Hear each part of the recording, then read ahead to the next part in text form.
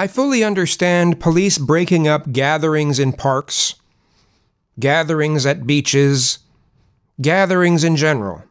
We need to do physical distancing.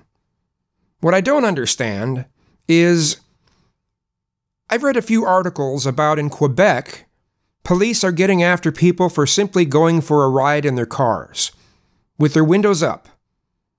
They're practicing full physical distancing.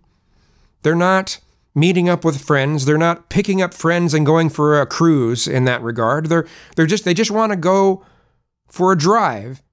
And police are severely discouraging that behavior. The only excuses I can see, according to some of these articles, is oh, well, they might uh, have to go to gas stations more often. That's that's kind of a lame excuse. The other one is, oh, they might get into an accident. They're more prone to get into an accident if they're going out at all. Come on, that's that's that's lame. What do you think? Do you think that's a bunch of bullshit? I think it is. Let me know in the comments. Thanks.